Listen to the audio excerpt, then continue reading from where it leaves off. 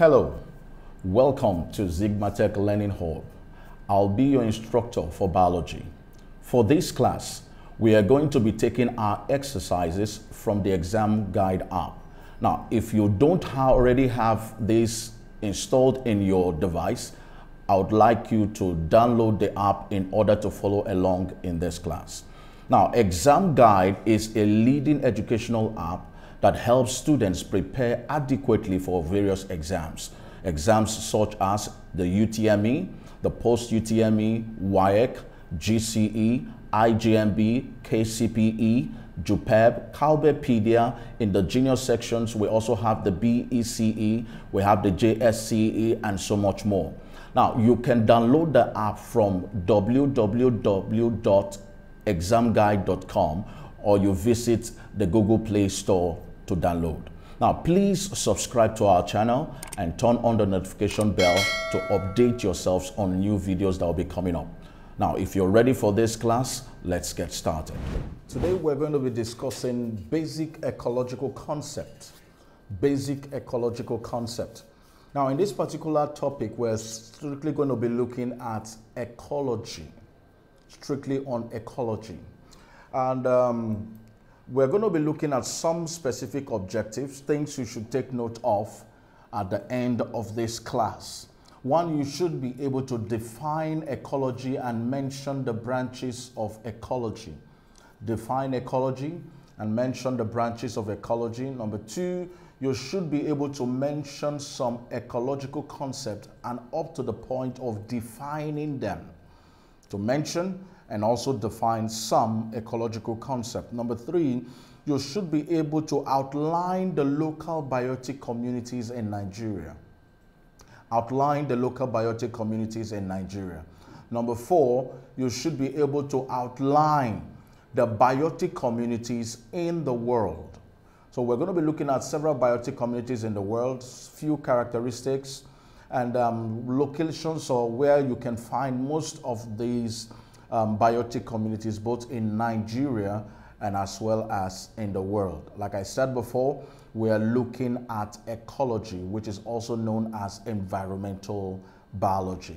Now, quickly, let's move into definition of ecology. Now, as we have here, um, ecology is actually one of the branches, one of the major branches of biology. And it is actually, it actually deals with the study of living things and their relations with the environment. I repeat, ecology is a branch of science or branch of biology that deals with the study of living organisms in relation or how they relate with their environment. Like I said, it involves the interaction between organisms, not just organisms and the environment, interaction between organisms and between them and their also environment. Now, another name for ecology is called environmental biology.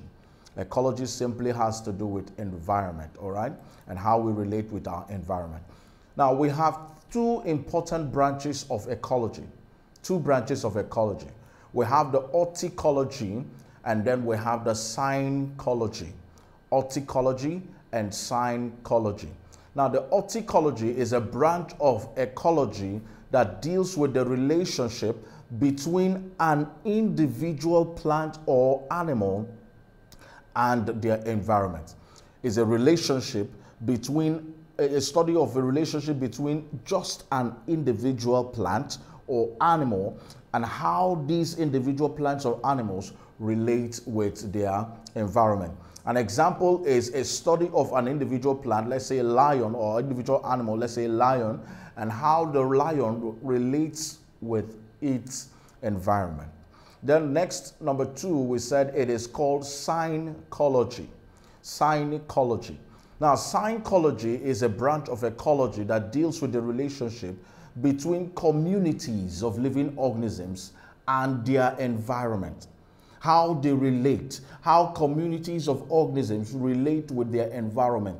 Now, you're not just looking at an individual organism or you're not looking at an individual plant or animal you're looking at a community of these animals or a community of plants relating with their environment. An example of synecology is a study of different marine aquatic organisms and their relationship with the aquatic environment.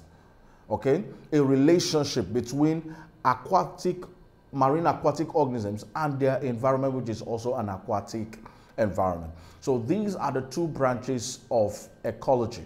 Now, there are several terms you need to take note of when studying ecology. Several terms. You'll be hearing them over and over again. You keep hearing these words, but it's very important for you to have a knowledge of what they are and be able to define them so that you can be able to have a better understanding or comprehend the subject ecology. Now, first one we're going to be looking at is environment. You'll be hearing the word environment. I've already made use of it. It's called uh, ecology, environmental biology. So, now what is the environment? The environment includes both living and non living factors in a given area or surrounding. In your surrounding where you are, both living and non living factors include your surrounding. So, it means that the, the, the, the atmosphere the waters that surrounds us they are also part of the environment. The soil that surrounds us they are also part of the environment. Living things like plants and animals they are also part of your what? Environment.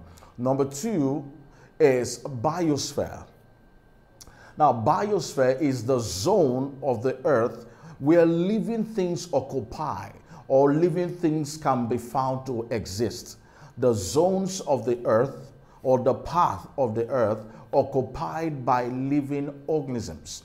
Now we have, based on this, we can divide biosphere into three major parts, which are also part of the ecological concept or terms we're looking at today. Number one, or let's put it as number three, it is the atmosphere. The atmosphere is also part of the biosphere. Why? Because it is a particular area where living organisms can also be found. Now, the atmosphere is the gaseous part of the earth. It comprises of 21% of oxygen, 0.03% of carbon dioxide, okay, and 78% of nitrogen and 0.97% of rare gases and so many other substances that can be found in the atmosphere. The next is the lithosphere. The lithosphere is the solid part Remember, we said the atmosphere is the gaseous part of the earth, the lithosphere is the solid part of the earth. Now, the solid part of the earth, it occupies about 30% of the earth's surface. It comprises of living organisms. You can see living organisms in the lithosphere. It also comprises of rocks or soil, and then it comprises of minerals. I repeat, it comprises of living, living organisms that are found in the lithosphere it also comprises of minerals. It also comprises of rocks or soil samples. Then number five, we have the hydrosphere. It is the liquid part of the earth and it occupies about 70% of the earth's surface. Okay? Now it consists of water and living organisms. So these three parts makes up the biosphere. Number six, we have what we call biomes or biotic community. Now, biotic community or biomes is any naturally occurring group of different organisms living together and interacting in the same environment.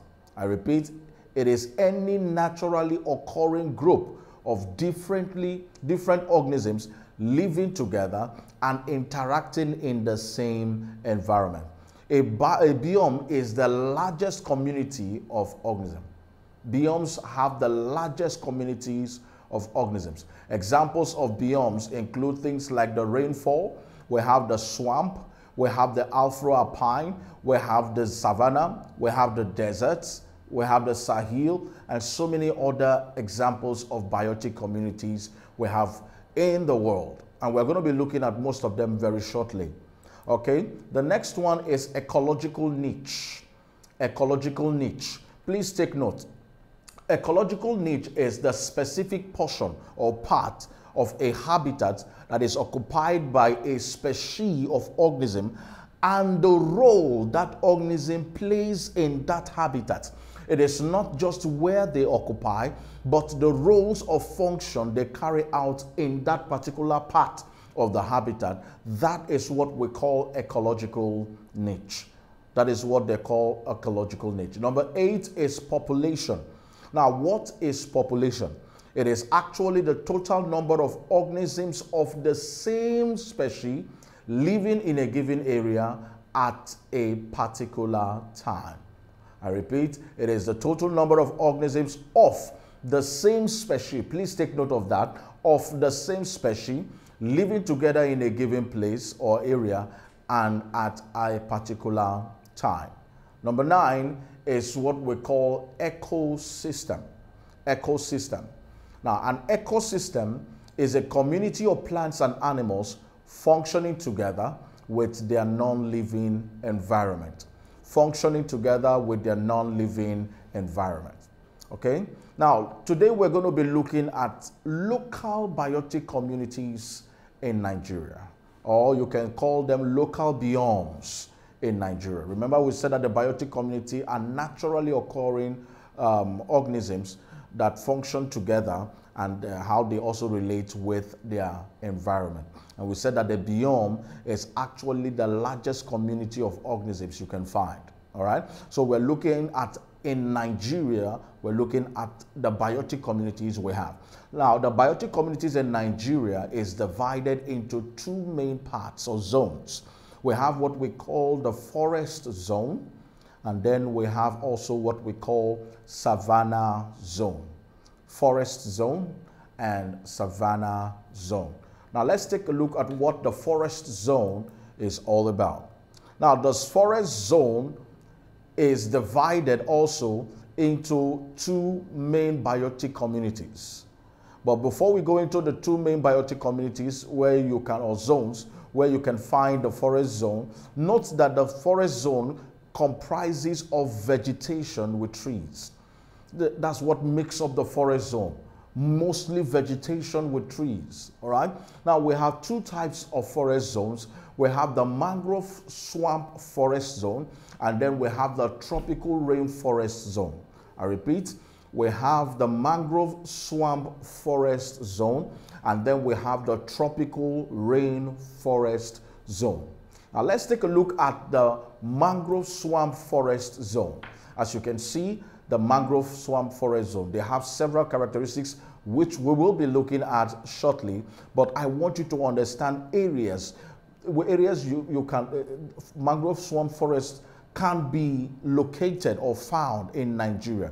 Now, you can see that in Cross River State. You can see it in Akwa Ibom. You can see it in Bayelsa. You can also see it in River State. You can see it in Ogun State. You can also see it in Lagos State. I mean, these are areas where you can locate mangrove swamp forests. Mangrove swamp forest. Now, what are some of the characteristics that makes up a mangrove swamp forest, or you can call them features of mangrove swamp forest. Number one is that its water, or the water, because these are plants that are actually situated close to the water areas. All right.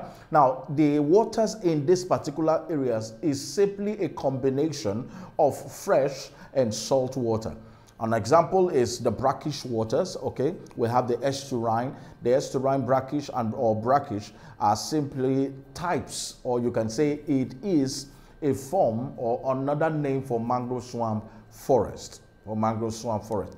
There is a combination, the water, there is a combination of both fresh and then salt water. Now, also in a mangrove swamp forest, the amount of rainfall is usually high amount of rainfall is usually high, and you also see tall woody trees. You'll see tall woody trees, and also they have evergreen trees with broad leaves. And uh, plants you find there uh, include the red uh, mangrove swamp, the red mangrove. You have also the white mangrove, and you also have the raffia palm. These are three important plants you can see in the mangrove swamp forest. Now, what about animals that can be found in the mangrove swamp forest? We have things like the kingfisher, you have crabs, we can see snakes very well, yes. You can also have the tilapia fish and so many other animals you can find in the mangrove swamp forest. Next, we're going to be looking at that's the second type of um, forest zone. For, for second type of forest zone is the tropical rainforest zone. Now, the tropical rainforest zone can be found in places like Abia State. We also have Lagos State. You have Anambra State. You can see a forest zone in Ogun State. You can also see a forest zone to an extent in River State. You can also see it in Akwa Ibom State and so many other states. Next is the characteristics of um, tropical rainforest. Now, one major characteristic of tropical rainforest is that it has trees. And these trees, they, are, they exist or are arranged in strata. When we say they are arranged in strata, it means they are arranged in layers. You have, uh, uh, uh, um, um, will I call it a high layer, okay? You have a middle, uh, and then you have a small layer, okay? In other words, if you look at the tree, the arrangement of the trees, the way they exist, they exist as if it is a staircase, okay? A staircase. So you have trees that are very large and high, okay? You have trees that are arranged in a high layer. You have the ones in middle layer and then you have the ones in lower layers and just like that. So we said trees that exist in this form we call them that we say that these trees they exist in strata. Also in the tropical rainforest you have high amount of rainfall there's high amount of rainfall and also in the tropical rainforest with the trees, they have what we call buttress roots and evergreen leaves. Now, plants that can be found there in the tropical rainforest zones include the iroko tree, we have the mahogany, we have the obeche, and so on. These are huge trees that can be found in tropical rainforest. And then animals that you can find there, you can find the monkeys, you can find the birds, you have snakes, we have squirrels there, and so on. These are some of the animals that can be found in tropical rainforest. Now remember, we said something when we started this.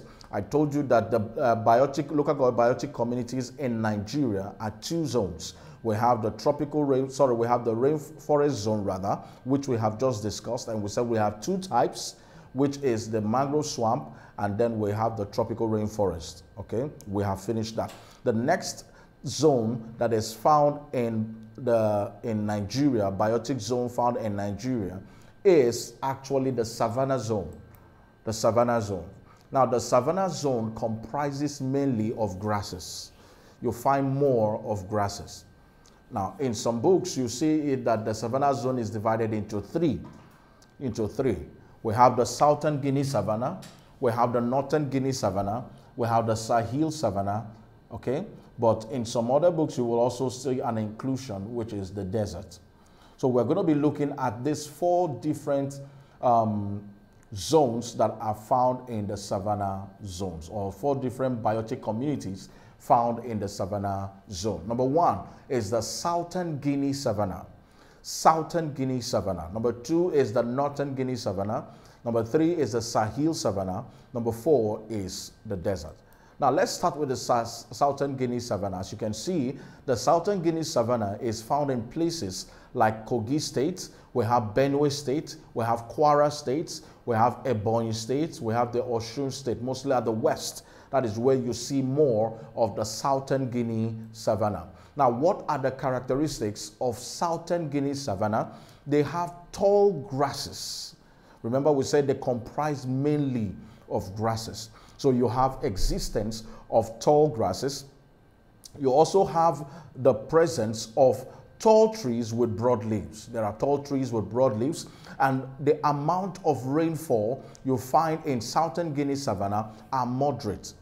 They are not very high like you can see in the swamp, mangrove swamp, and also in the tropical rainforest. No, they are moderate. Now, animals that can be found in the southern Guinea savanna includes the lion, we have leopard, we have the antelopes, and so on. These are uh, animals you can find there. And then plants that you can find there, you have the shea butter, you have the locust bean trees, and so on. These are some of the plants that can be found in southern Guinea savanna. Now, the northern Guinea savanna is located in places like um, Niger State, we have the Bauchi State, we have the Kaduna State, we have Taraba, and so on. These are some of the places or locations you can find the Northern Guinea savanna. Next is characteristics of Northern Guinea savanna. Now, the Northern Guinea savanna is characterized with low rainfall. The amount of rainfall is not moderate as it is in Southern Guinea Savannah, but it is low. Okay. Also, we said we, you can also observe that you have scattered and short deciduous trees, scattered and short trees, and also you have short but numerous grasses, short but numerous grasses. Now, plants that can be found here include the acacia, we have the silk cottons, and so on. Animals that you can also see in this place, you have snakes, we have lions, we have deers, we have um, lizards, and so on can be found in the northern Guinea savanna. The Sahel savanna. Sahel savanna is located in areas like Katsina State. Now, these are areas, if you look at the screen, these are areas that are encroaching towards the desert. So there is desert encroachment, mostly in the Sahel savanna. So we have places like Katsina, Sokoto, Yobe, Kebbi, Kano, Zamfara, and so many other places that have the Sahel savanna. Now, they are characterized with short and scanty grasses, as you can see, short and scanty grasses, and also they have short and tough shrubs. And these shrubs have drought-resistant trees, or are drought-resistant. They are drought-resistant. So it means that they have uh, um, um, mechanisms or adaptive features in order to um, um combat drought. Now, plants that you can find here is the date palm. You also have the gum arabic plant and so on, or trees. And then also we have desert. Desert. Now, you find deserts in Nigeria mostly at the northern borders of Sokoto. You can also find it at the northern borders also of Katsina, Jigawa, and Yobe states. All right. Now, what are some of the characteristics of desert? Now, we have um, little or no rainfall. Okay, you have high temperature and low relative humidity. Now, there are also no grasses and shrubs that are found there. Now, some of that, you find some plants, okay, little or no grasses and shrubs that are found in the desert. You have uh, a plant that you can actually see there is the cactus plant. Also in the desert, and an animal you can also see there is the snake, mostly the rattlesnakes. Now, quickly, let's move to major biotic communities in the world, major biotic communities of the world. We have the tropical rainforest, we have the savanna, we have the desert, we have the shrub, we have the afro-alpine, and then we have the swamp. Okay, these are um, major biomes in the world. Okay, now let's take a look at tropical rainforest and let's see where it can be found.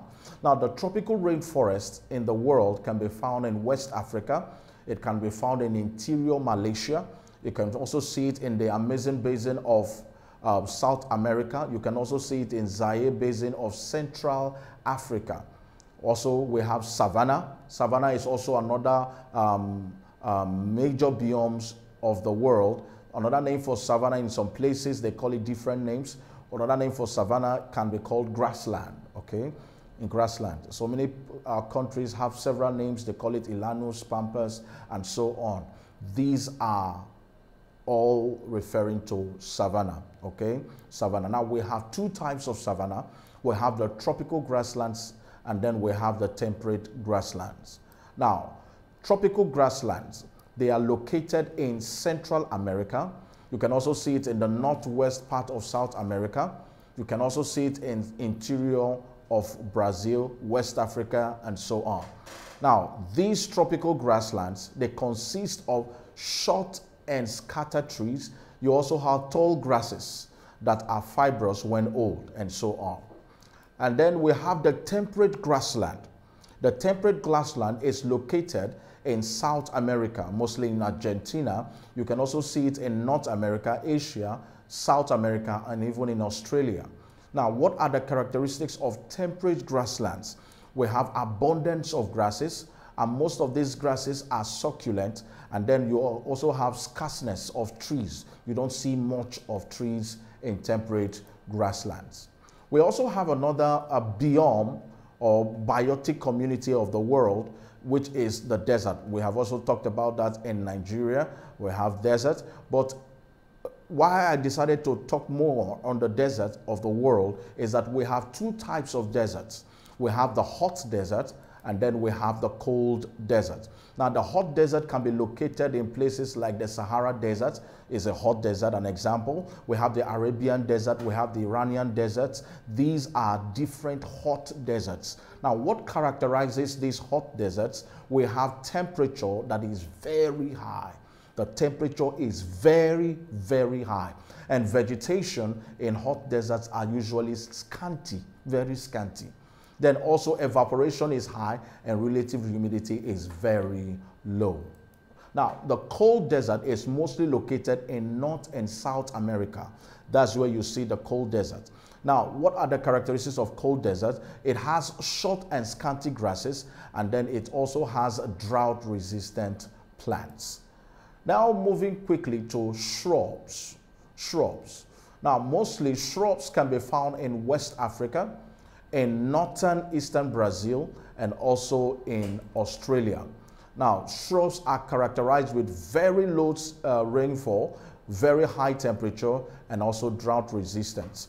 The, the trees are the trees, or mostly the shrubs, are drought resistant, and they are dwarf trees. Dwarf trees. Okay. And then we have the Afro-alpine. The Afro-alpine, they are located mostly in the mountains. That's where you see Afro-alpine. As you can see on the screen, you get them more in the mountains and you can find them in places like the Cameroon Mountain, the Kenya Highlands, the Kilimanjaro Mountains, and so on. Now, what are the characteristics of Afro-alpine? We have pressures and temperature decreases with altitude, vegetation decreases with height of the mountain, and the peak of the mountain, you experience snow. It's usually ice cap, okay? And then lastly, we have swamp. We've talked about the mangrove swamp. You can see swamp in West Africa. You can see it in East Africa. You can also see it in South Africa, all right? Now, they, of course, they are characterized with high temperature and rainfall. You also have very high relative humidity. And most of the plants you can find in swamp includes the um, white mangrove, red mangrove, and the what raffia palm. All right. Now this brings us to the end of this particular topic on basic ecological concept one. Now before we go quickly, let's look at one or two evaluation or questions that will help us. Now, look at this question. In which of the following biomes do the crowns of the trees form upper, middle, lower story. All right. If you go back to what we discussed, we said it is the rainforest zones where we have the tropical rainforests.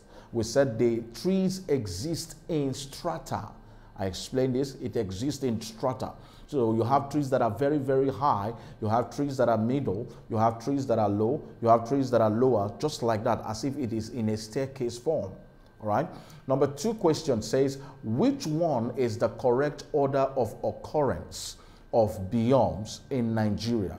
Correct order, please take note of that, from Atlantic coast to the northern boundaries. So you're moving from um, um, the aquatic and then you're moving to more of the terrestrial, all right, or arid uh, land, or the say. Now, A, they said swamp forest, yes, it is close to the Atlantic, is close to the water or aquatic habitat. Then rainforest, southern Guinea savanna, northern Guinea savanna, and Sahel savanna.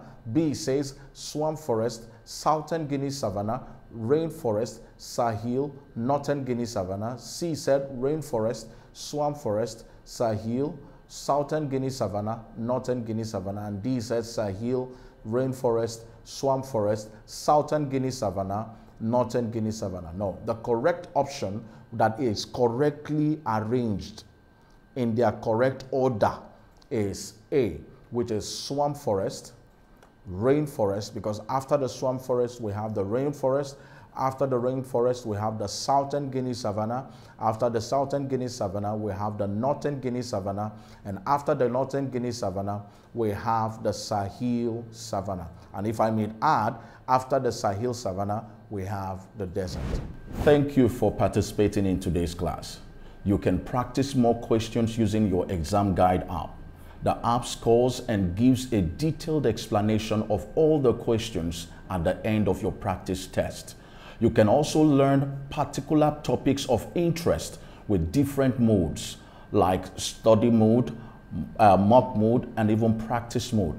It is also it also has other features that makes learning very fun. Now, it is a must for all serious students. Download from www.examguide.com if you don't have it yet. See you in the next class. Don't forget to subscribe to our channels hit the notification bell and share the videos to your loved ones and friends that will benefit from it. Bye for now.